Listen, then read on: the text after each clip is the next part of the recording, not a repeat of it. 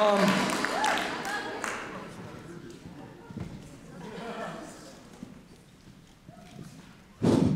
my name is Monty from Millard West, and this is my art. Grass grows greener under gray skies. Maybe if troubled kids had someone to FaceTime on late nights, they wouldn't FaceTime. Every time I step into the counselor's room, I stay away from suicide to stay on the safe side because all they'll do is call my parents and give me prescriptions and tell me how my self-medication is an addiction, have me take pills more lethal and addictive to fix it, watching my addiction, don't want to get a sentence for a sentence. And they say, and they say they're here to listen, but question all my ambitions. How can I think out the box and still follow the system? Our youth swallowed by sickness and every day kid is a symptom. Struggling for acceptance and only faced with resentment, an eye for an eye. They question why I resent them. All I see is depression, results of your oppression. Most of the teachers I met, they never taught me a lesson.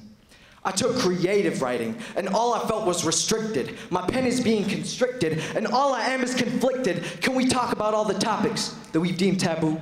Can we talk about why these kids get piercings and tattoos? The perfect answer would be yes, son. I'd be glad to. I recall an assembly we had in elementary. They told us, follow your dreams. But now my dreams aren't meant to be. They made us chant. Never say I can't. But my teacher told me I can't be Mark Twain. I can't be who I want. I can't, I can't, I can't, but you can't tell me what I can and can't. I walked to guidance for some guidance and found that they can't provide it. I started crying in the office because my role models were liars. Oh, he's suicidal. Let's all act like we care. But I don't care if you care. These are just some thoughts I'm gonna share. Okay, we acknowledge the problem. But how do we solve it? Can I, please, can I please speak my mind without being assaulted? This is the land of the free, right? Is it still? Red, white, and blue.